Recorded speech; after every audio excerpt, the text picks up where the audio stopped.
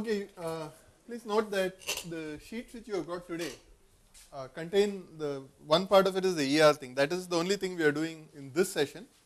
The remaining parts of it are for the afternoon. They are not meant for this session. So please ignore them for now.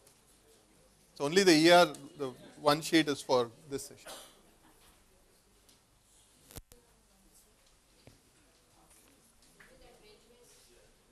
Yeah, the railways and the other, the second, there are two questions, two parts to it.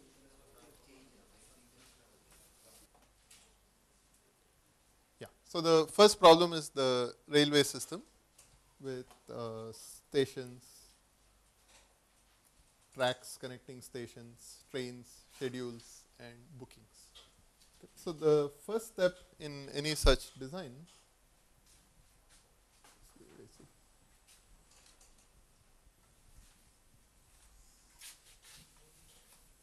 is to identify the entities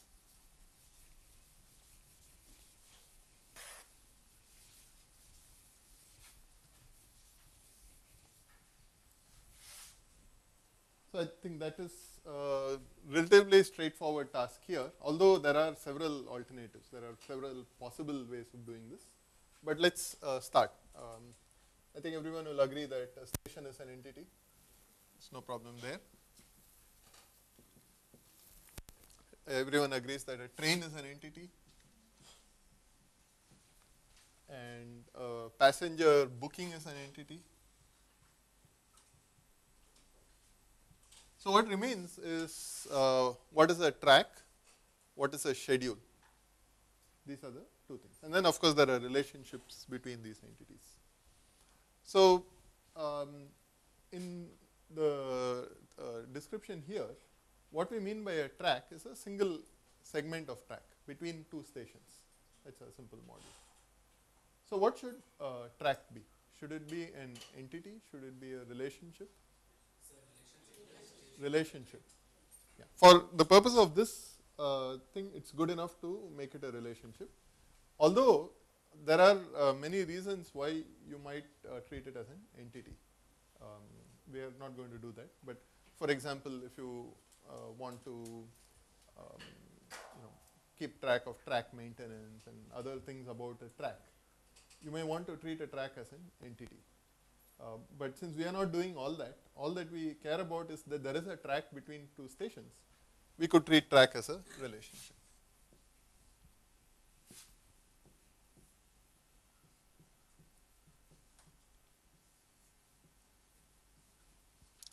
Let me put it down here to give space for it.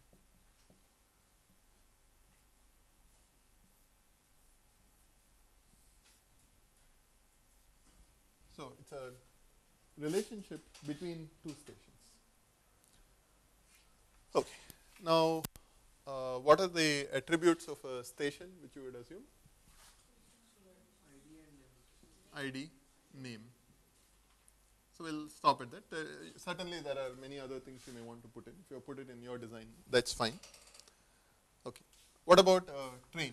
What are the attributes you would expect? ID name. It's probably good enough for our design. Um, now, the key thing is that uh, train schedule um, and there is also this issue of what does a booking relate to, we will come to that in a moment. Um, so, first of all let us uh, deal with the train schedule. So, what is the train schedule record? It says um, you know at what time does a particular train pass through a particular station and there is also a sequence number uh, which is this is the first thing this is the origination point which could be 0 maybe for the train then there is 1 2 3 up to the termination point for that train and we also need to record the time when the train passes through a station and we have made some simplifying assumptions here that every train runs every day and it finishes its journey within the same day. Otherwise, you have to keep track, you know, if you are just storing time of the day, that is not good enough. You have to know that is it on the starting day or is it on the next day and so on. So, to simplify our life, we have uh, pushed all that under the carpet um, and we are going to store the time in, time out, and a sequence number. Those are the three things we're going to see. So now, how should we do this? How should we record this? Yeah. And for that relation, we have the attribute time in and time out. Exactly. So that is the simplest representation, although others are possible. So we can give this whatever name we want, train uh, schedule maybe, or train station. Now what are the attributes? That is time in, Sequence number, time in and Time. time out. time out. Yeah. So uh, I saw at least one or two people had uh, modeled this as an entity. Uh, if you do that, then the schedule entity, the, the point where a train enters, a the, the fact that a train is going through a station, if you model it as an entity, it has to be related to a train, it has to be related to a station, and it has to have these attributes. So that is a possibility where this is turned into an entity with two relationships on either side, and these would be the attributes. So that is a possible alternative. Although for the purpose of this particular uh, simple design, it's not required. This is simpler. Okay. Uh, what is the next one? Uh, passenger booking. So what are the key things in a booking? We need to uh, have a train. So the booking has to be related to a train. So what do we do? Create a relationship. We can give it any name, say booking for. Booking is for that train. Um, booking has to um, also be related to Passenger as an entity over there. Yeah. So passenger books for the train, yes and for booking we can have the uh, entity uh, attributes like the date, coach, and other things. Yeah. So, So, we could model passenger as an entity. Let's uh, start with uh, not bothering with that Okay. detail, and then we will modify it to add that. Because the question said don't model it, but in reality, yes, there are good reasons to model a passenger as an entity. So, um, what all does a booking have? It, you need to know that the booking is from on this train, from this station to this station. So,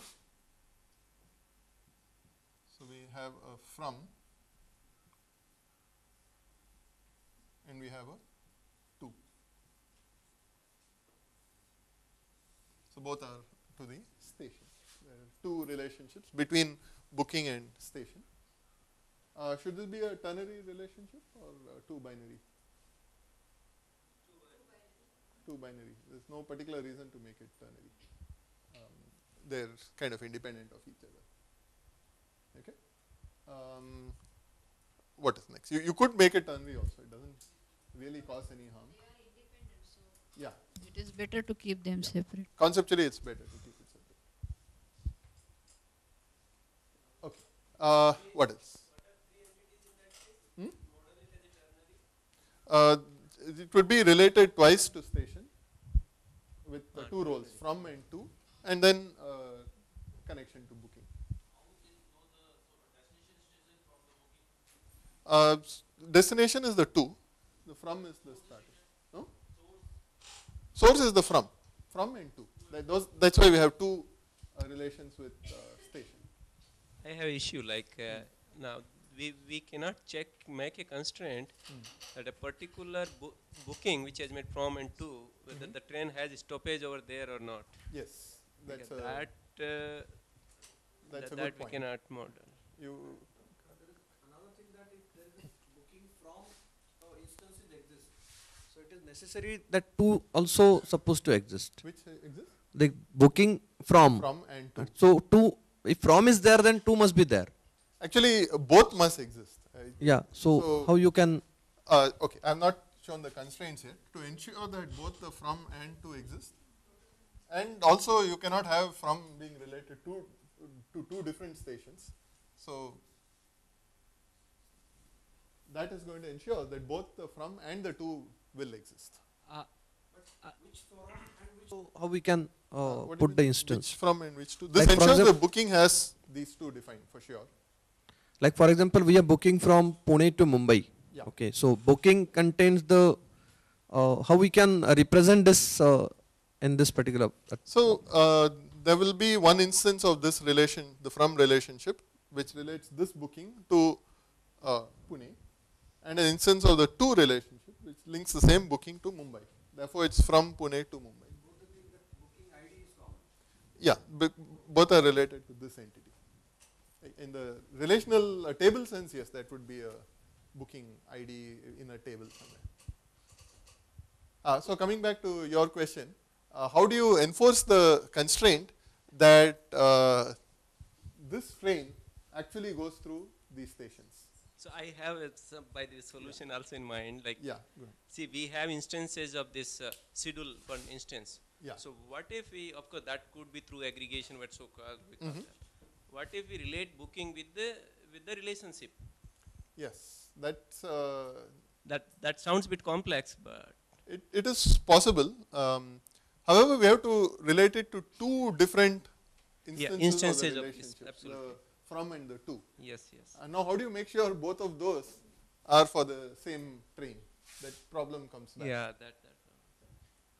So it's an interesting question. Uh, There are some important constraints, uh, but it seems non-trivial to enforce those constraints on the ER model Other directly. solution like I made in my diagram. Yeah. Somehow as attributes in the booking. Um, so if you were to, for example, you could have a, you can't do it at the entity level, but if you do it at the table level, you can have a train ID and then a sequence, two sequence number. You know, what is the starting and what is it is a sequence number for this train. Um, so this is an interesting thing. Uh, so if you create a table, it's easy to do this. If you do it through this, how do you do it? The, the, the constraint, we- the problem we- is the constraint we that academic people want to keep do Yeah. these two things existing se- in separate space. ER model and relational model. Yes. There are distinction and disjointness. Yeah. So actually, another interesting question is if you took this uh, relational model, what is the corresponding ER model which could have given us this relational model? So in case you didn't follow the discussion for the others, uh, the idea was um, in the booking we can have a train ID and uh, from sequence number and a to sequence number. And because this is a sequence number for a particular train, in- its route for this train, we can be sure that uh, it's the same train which goes. So it enforces that constraint Yeah, implicitly by keeping a, uh, in some sense, a discriminator. So, um, yeah. So if if you had uh, this stop as a weak entity, so you you had proposed that uh, train schedule instead, this relationship becomes an entity. We could model it as a weak entity, and which is dependent on train, and uh, it has a sequence number, which is a discriminator. So let me. Uh, I, I think let, let's finish this and then I think we're almost done with this, right? Uh, what is left here? Uh, as per uh, the statement here, all we need is uh, booking ID, coach, seat number, and name. Okay. I think uh, that completes the design as stated. Now we will modify it and try to do something else to it. Yeah. Yeah. Yeah. if the station, uh, train does not halt at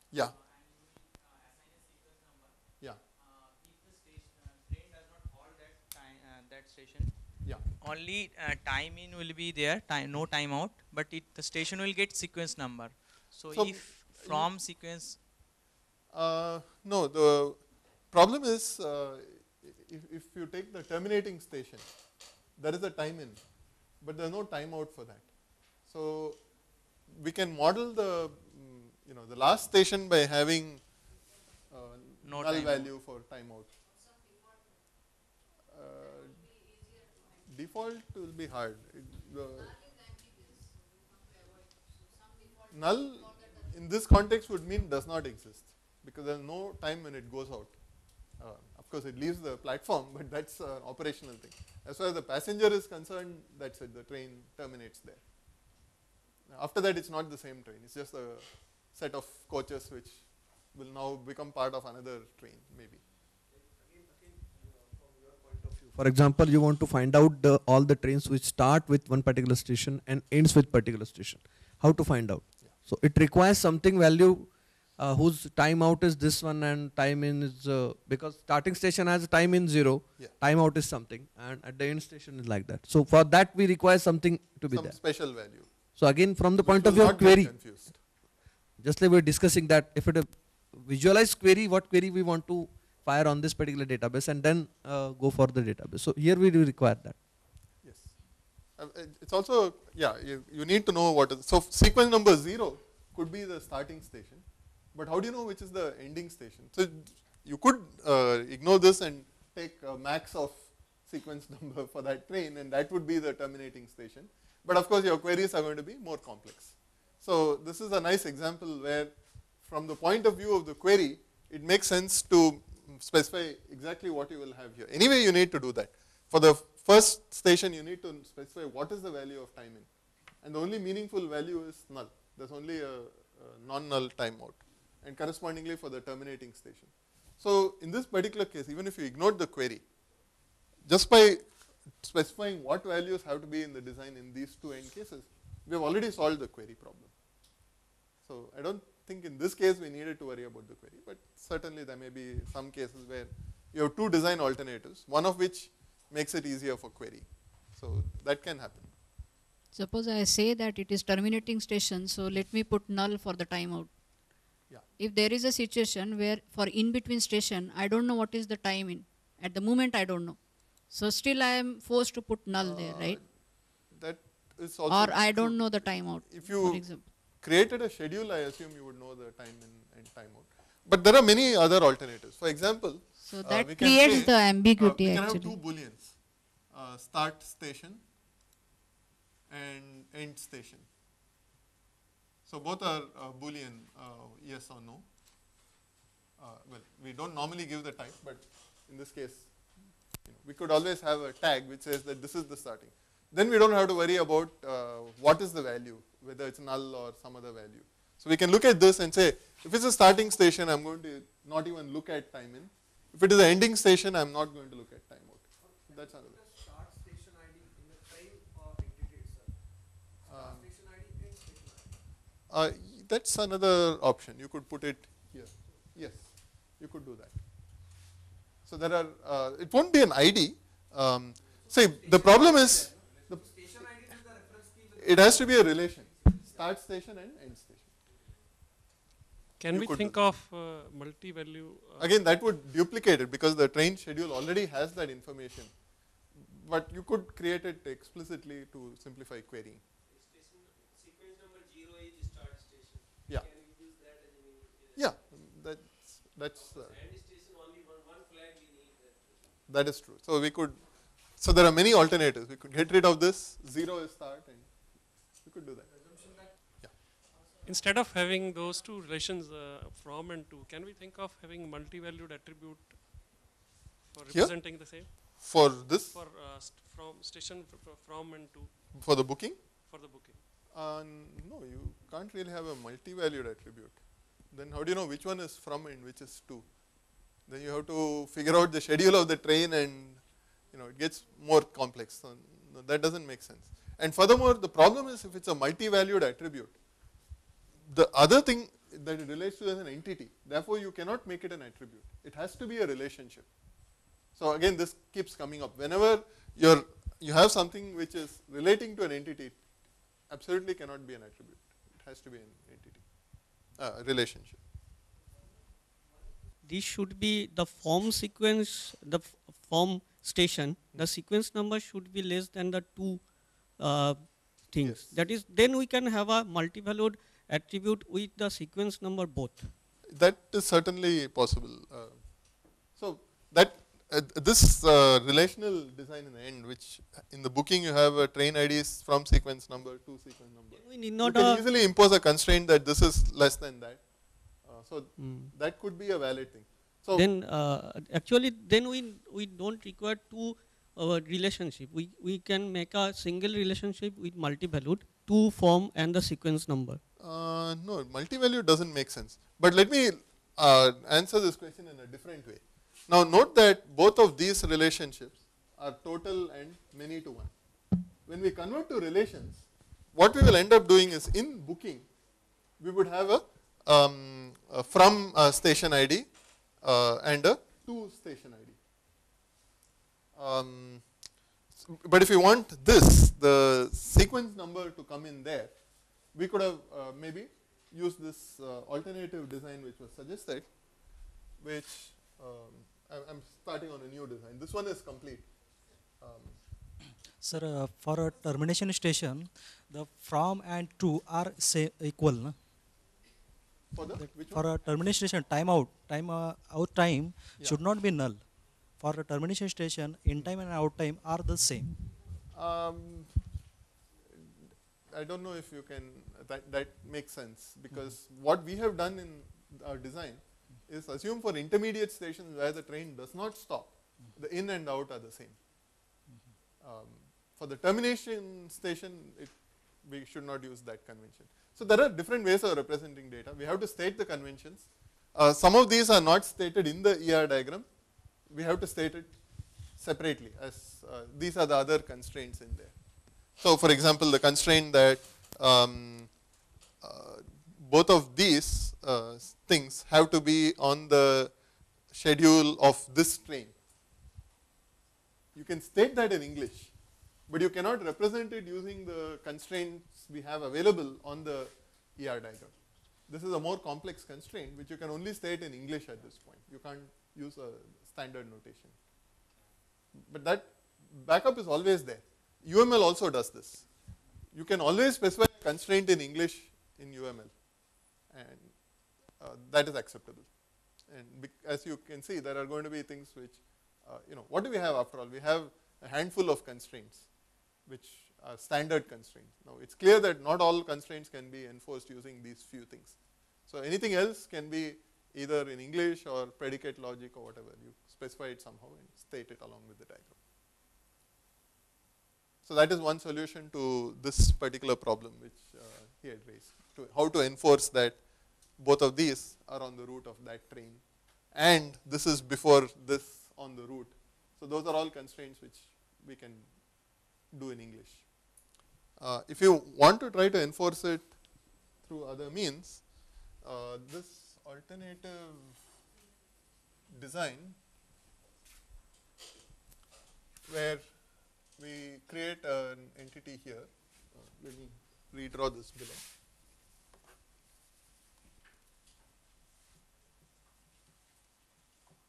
Let's call it train stop.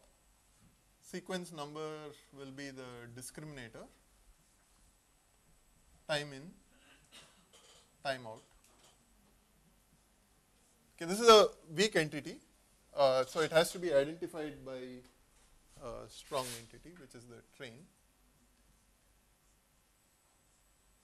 So we'll have to give this some name. Um, let's call this TS or something. For lack of space, I'm abbreviating and time also. We are running out of time. And uh, the train stop obviously has to be related to a station also.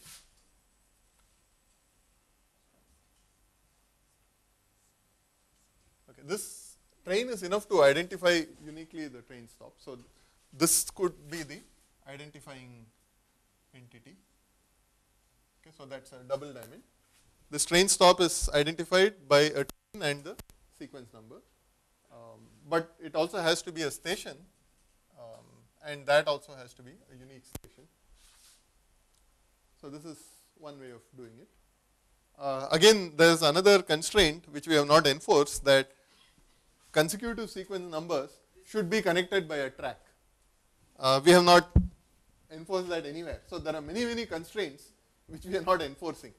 This from and to will go to Huh?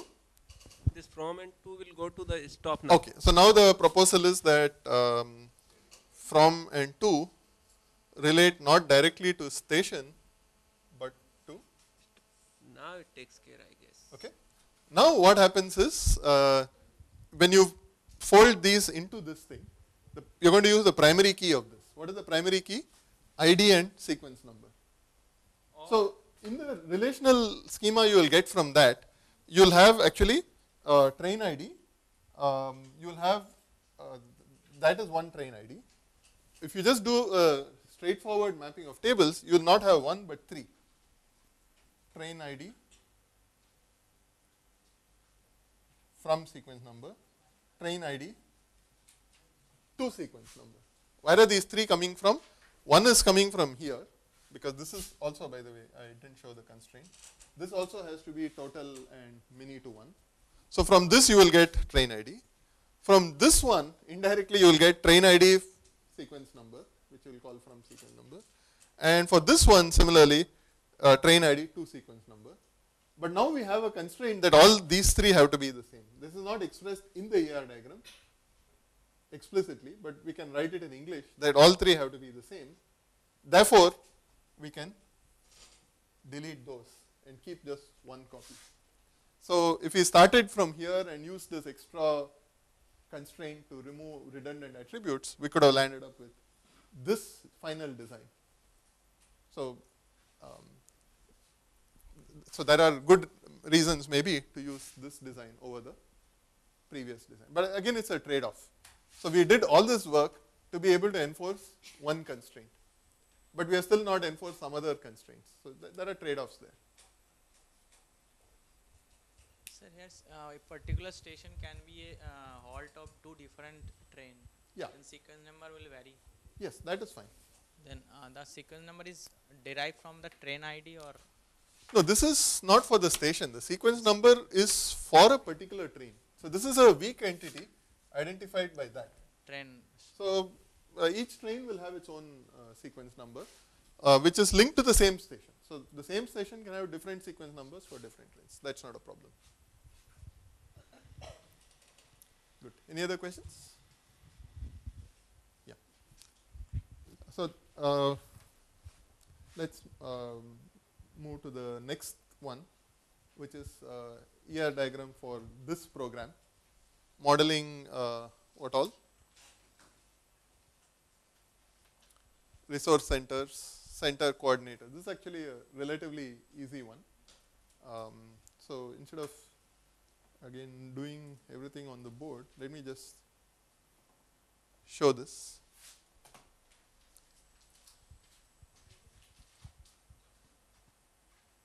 Okay, so we have a uh, wait, something is missing. Okay, fine. Um, so we have a faculty who is from an institute. So institute is an entity, faculty is an entity. Resource center is also an entity. Um, and it has a capacity. That's the only thing we are modeling, but actually you will have to have an ID. This diagram is incomplete. So I'll go beat up the RAs uh, students who drew this. I'll beat them up after the this thing, but there are a few corrections here. Uh, resource center certainly should have a identifier. Uh, in fact, all of these should have an identifier. So this should be underlined faculty ID. Um, so if you can note this, let us please, please note these corrections. We will put up a cleaned up one later. Mm. So faculty is all of you are center coordinators for a particular resource center. Now this diagram is allowing some flexibility uh, which may not really be required. So among the flexibility it allows is that a resource center need not be an institute. Uh, so you could have a resource center in some Reliance world somewhere which is not even an institute. It also allows a faculty to be a center coordinator for a resource center which is not their institute. So this gives you the flexibility. If you didn't want that flexibility, there are alternatives to enforce that a resource center is an institute. How would you do that? Hmm? How do you make sure a resource center is an so is an institute? But for example, uh, if institute is uh, and uh, there is specialization with the resource center, so it doesn't make any difference if it is institute. Reliance might be uh, treated as an institute. We can define that Could. institute means it is an entity which has uh, some sort of common character name and ID and other things. Um, Whether we'll- Tech Mahindra is the institute, yes, we can treat this as an institute. that So in a broader sense, a Well, difficult one. we don't want uh, a faculty to be from uh, Reliance World, for example. Yeah. So we may want to have a case which is a real institute, a college, uh, Okay. uh, some other institution, and a resource center, um, which could be, which, yeah. So we could even uh, link a center coordinator to an institute. So the assumption is that some of these institutes are resource centers, and which ones? Only those which have a center coordinator. Or, or maybe we can have an extra flag here which is, is a resource center. So there are many uh, alternative uh, designs. Okay, but in this one, uh, let us just make sure uh, no more errors here. This would be a primary key. Um, there would be an ID here. The attends here um, being many to one uh, makes sense. You cannot attend in more than one, and you don't have to attend. Therefore, this constraint is fine. Uh, you are from an institute, uh, so you may want to add an extra thing that every faculty member has to be from an institute, if you wish to. But then you may have some people who are uh, freelancers of some sort, not associated institute. So if you want to allow that, then you will not make this total. You can leave this as is. So those are decisions you would have to make. Uh, so for our design, this is reasonable. And um, yeah, faculty attending a resource center has a registration number, which is also useful. Um, now, what this is not modeling is the fact that you may have multiple courses. This is all for one course. If you have multiple course, the same person may attend a resource center for different course. So actually then this is not a resource center, this would be a course offering in a resource center. So then you would have a resource center which is a separate entity. This would become a course offering like a section, right, similar to that. These are all sections of a course which happen to run at different resource centers. And then you would register for a section and the person is a coordinator for a section. So that would be another alternative. So depending on what you model, you will have many different variations from this. So this design is okay for the specification, but it may need extension. Okay, any questions on this? There's also a solution here for the other one, um, the railway, um, which is basically the same thing, but I think there are a few, one or two mistakes in the constraints here. So again, we will fix this also before uh, you take a look at it. Uh, you will note, yeah, from train to station. What's the problem here? There's a constraint error here.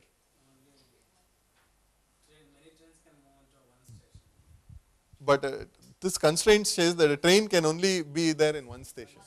So this arrow should go. Please note that. Okay. And there was one more. Yeah. Uh, track. What is the problem here? Hmm? This is uh, no track is it's no it's many to many. Each station a station may be connected to many different stations. So this is again many to many, which means this arrow should not be there. Okay, so these two correct. We'll make the corrections on this diagram. Uh, I think the rest is okay. Uh, from to this is exactly as we drew it. For train, all all the rest is fine.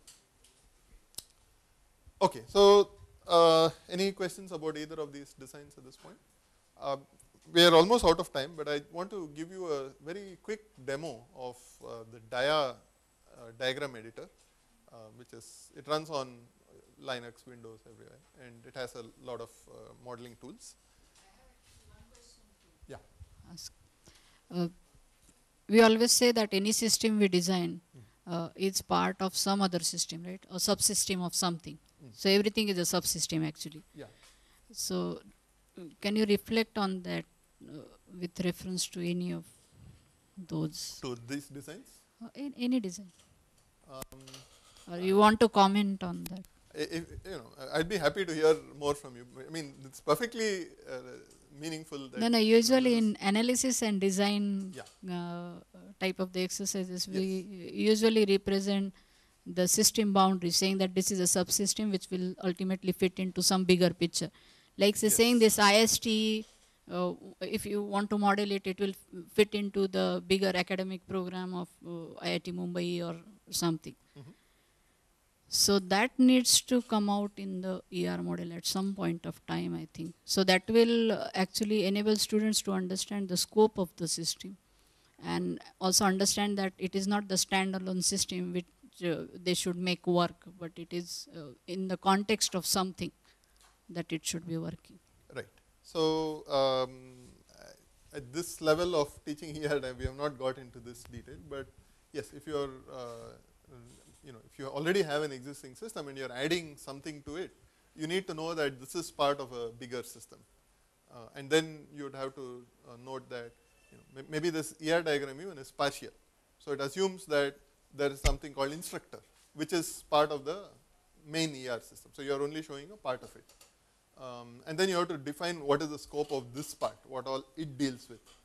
So, absolutely, um, if, if you're doing it as a part of a larger design, you have to scope out what is part of this and what is not part of this and can be used from the existing design. Absolutely. Good. I, I think we are getting some good software engineering insights. Thank you. Okay. Um. So sorry for that uh, wasted time. So this is the dia editor, diagram editor. Now what dia has is um, support for a number of different uh, modeling things. It, so th- this has flowchart, UML, um, ER. Okay. So what we are going to do for our purpose is use UML class diagrams to uh, represent entities. So let's call this class 1 attributes. Let's call it A1 uh, we're not going to give types and so on. Um, so visibility we're making it implementation otherwise uh, in UML it has this uh, plus minus uh, in sharp notation upfront um, this is a hack but if you want to underline it if you say class scope in UML it underlines it. So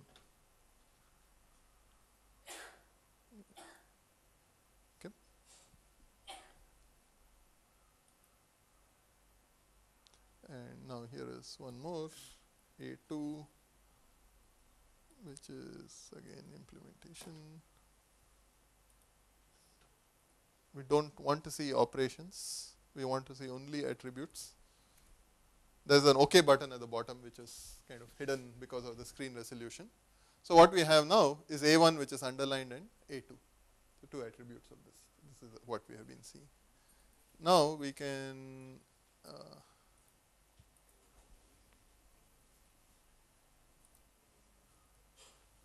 we can copy it and then modify this as we want. Now then uh, let's leave this uh, name alone for now. We can edit it later. Now the next thing we need is um, relationship between these. Um, unfortunately, I think there's no relationship here. Uh, this has something which is not really relation.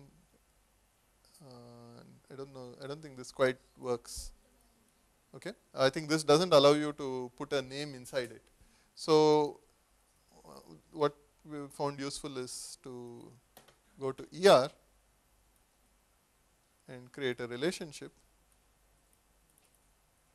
We can call it whatever we want, R1. Now we can have uh, connectors between these.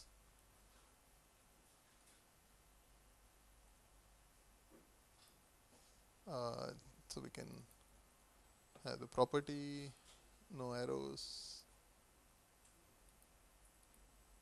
Okay. Similarly for the other one, we can create a connector.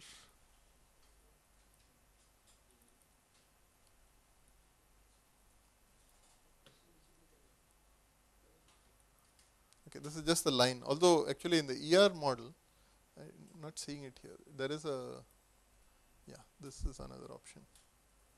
Um, okay, so this is actually a better way of doing it. So let's delete that.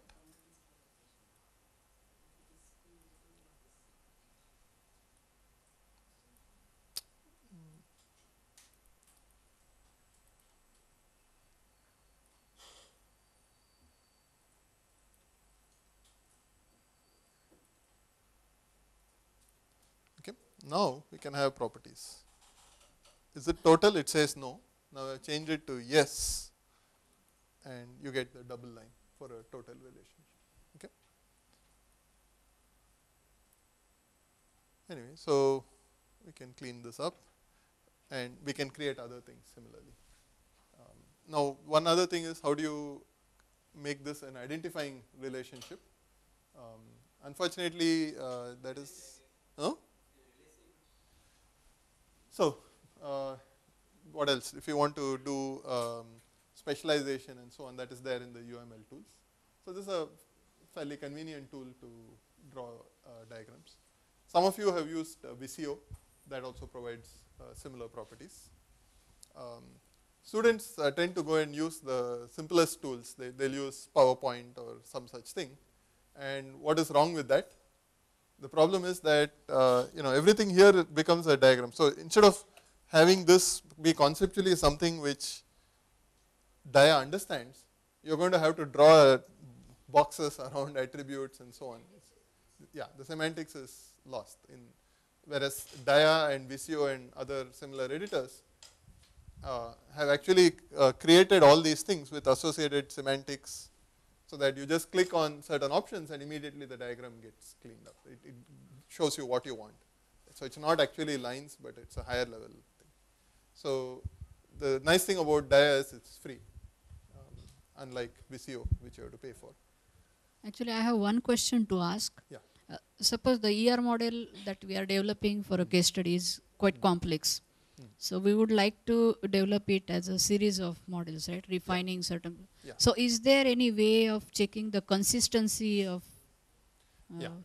So that's things, another good uh, question. in if you are breaking up a ER diagram into many pieces because it's too big, um, one of the things which you should do is um, you define the attributes of a class in one place. in all other places, simply use the class. Don't show the attributes.